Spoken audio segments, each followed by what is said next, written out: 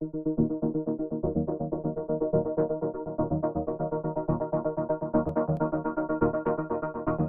picture for the music is it's not just the music by itself, the music is really the soundtrack to Alien TV.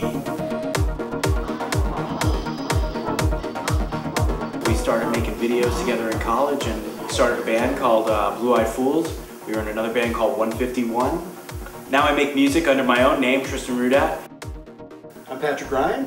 This is the totem bird god of video test pattern. I saw him in a video once. Light beings in stasis before the god field. RF cable man. He made out of coax cables, the kind that fed the cable with television when we were children.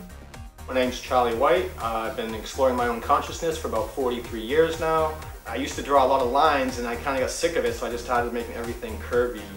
My buddy Tristan Rudat makes this unbelievable music that is uh, so inspiring and it gets you in the spot right here. I've always written music that had a darker vibe to it, uh, music that oftentimes made you feel the uh, goosebumps on the back of your neck. This year I really wanted to challenge myself to capture some of the love and some of the true, true love that I felt. Where it lifts you up like this, you know, like old, like good classical music would. Feelings of forgiveness, feelings of compassion, feelings of empathy. These are the emotions that I wanted to convey in the music. When I started going to Cosm, I saw that there were more people who were trying to awaken love and consciousness in people, you know, through some kind of a visual art form.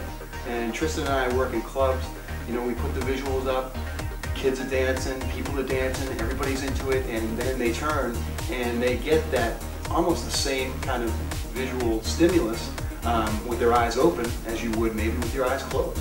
A lot of our sample material deals with things, uh, technical things about television, the history of television, cathode ray tubes, carrier frequencies, anything that deals with the interconnectedness of our entire planet.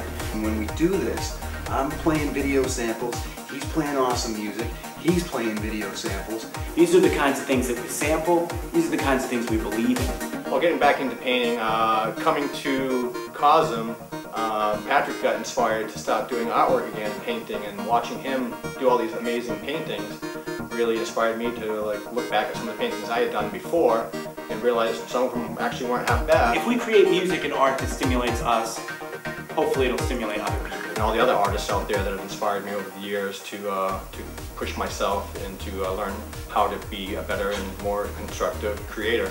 We grew up listening to the same music, the same uh, movies, the same art, you know. We've created a world in which we can make our art, the art that he came to me and told me about 21 years ago, and actually make it happen. I think that ultimately um, that our music and our visuals are conduits of love.